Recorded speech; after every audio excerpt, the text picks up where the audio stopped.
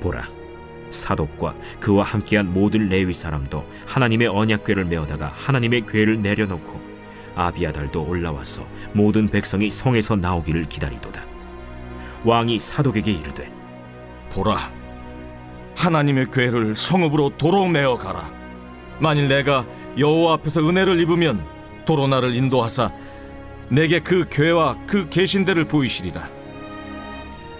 그러나 그가 이와 같이 말씀하시기를 내가 너를 기뻐하지 아니한다 하시면 종이 여기 있사오니 선이 여기시는 대로 내게 행하시옵소서 하리라. 내가 선견자가 아니냐? 너는 너희의 두 아들 곧 내 아들 아히마아스와 아비아달의 아들 요나단을 데리고 평안히 성읍으로 돌아가라. 너희에게서 내게 알리는 소식이 올 때까지 내가 광야 나루토에서 기다리리라.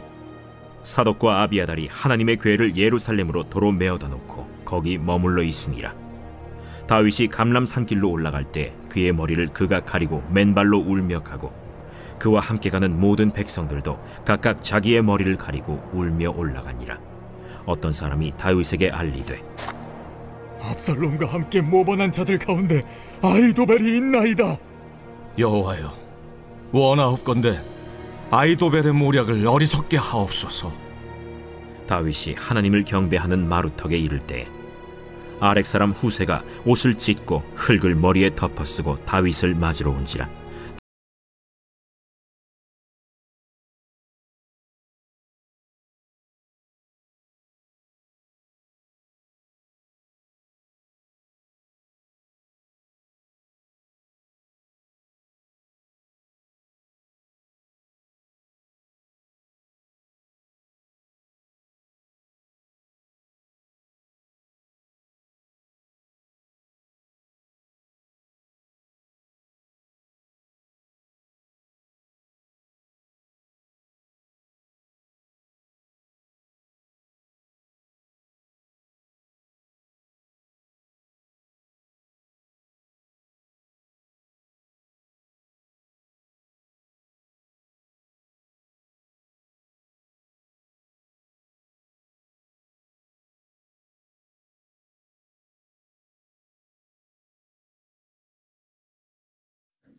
예, 오늘 본문에서 이 다윗은 압살롬을 피해서 이제 피난길에 오르는데 앞을 내다볼 수 없는 그런 현실 가운데 있습니다. 근데 피난길에 이 시바라는 사울의 종이 찾아옵니다. 이 요나단의 아들 무비보셋의 종이 된 사람인데요. 어, 굉장히 많은 음식을 가져와서 다윗이 순간적으로 감동했었을 수 있는데 어, 갑자기 이제 주인을 모함을 합니다. 그래서 다윗이 주인 무비보셋이 어디 있니 물어보니까 모함을 시작하는 거죠. 무비보셋이 어, 다윗이 피난 간 것을 보고 사울의 나라가 재건되는 것으로 알고 있다. 뭐 이런 식으로 이야기를 합니다. 나중에 어, 이 시바의 거짓말이 발각이 되죠. 어, 그리고 나서 또 다시 사람이 나타나는데 시므이가 따라옵니다. 여러분 이 돈과 권력이 있을 때는 주변에 사람들이 모여요. 그렇지만 그게 없어질 때 썰물처럼 빠져나가게 되죠. 그래서 돈과 권력이 없어져 봐야 내가 누군지를 깨닫게 됩니다. 이 사람의 막대기로 어, 우리를 고난 가운데 몰아가서 내가 누구인지를 알게 하시는 어, 그런 순간들이 있는 것이죠.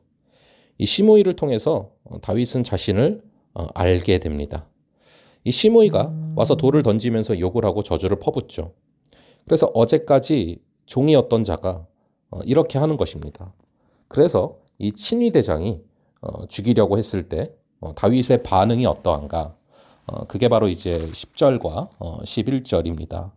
왕이 이르되 스루야의 아들들아 내가 너희와 무슨 상관이 있느냐 그가 저주하는 것은 여호와께서 그에게 다윗을 저주하라 하심이니 내가 어찌 그리하였느냐 할 자가 누구겠느냐 하고 또 다윗이 아비세와 모든 신하들에게 이르되 내 몸에서 난 아들도 내 생명을 헤아려 하거든 하물며 이 베냐민 사람이랴 여호와께서 그에게 명령하신 것이니 그가 저주하게 버려두라라고 말하고 있습니다.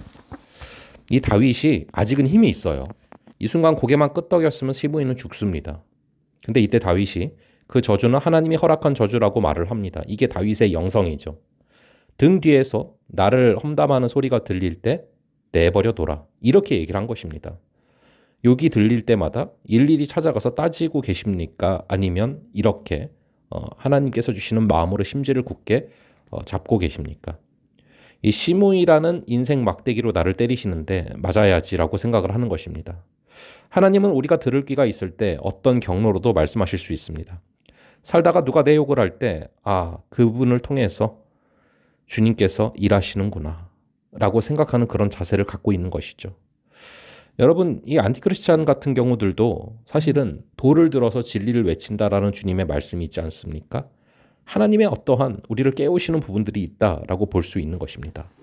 결국에 이것에 대해서 다윗이 어떻게 반응을 합니까? 12절에 혹시 여호와께서 나의 원통함을 감찰하시리니 오늘 그 저주 때문에 여호와께서 선으로 내게 갚아 주시리라. 자, 이 믿음이 있는 것입니다. 그래서 이 욕이 들려올 때 웃고 지나갈 수 있는 것이죠. 오늘도 그런 마음으로 나아갈 수 있는 우리가 되기를 바랍니다. 잠시 기도하겠습니다. 아버지 오늘 말씀을 통하여서 다윗의 영성을 다시금 바라봅니다. 누군가가 나를 욕하는 소리가 들려올 때 하나님이 선으로 갚아주실 것을 알고 있기 때문에 그 믿음이 있기 때문에 이것을 어, 하나님이 인생 막대기로 나를 몰아가시는 또 깨닫게 하시려는 그런 과정 가운데 있음을 깨닫고 이것을 의연히 넘길 수 있는 것. 아버지 우리에게 그러한 자세를 허락하여 주시옵소서.